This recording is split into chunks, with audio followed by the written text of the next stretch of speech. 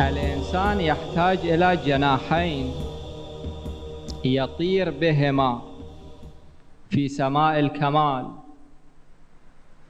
جناح العلم وجناح الأخلاق.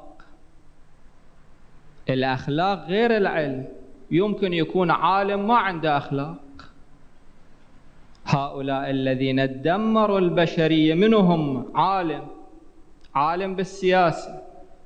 عالم بالاقتصاد. عالم بالاجتماع.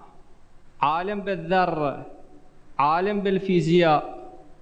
ولكن يستخدم هذا العلم في تدمير الإنسان وفي تدمير الحياة. العلم شيء والأخلاق شيء آخر.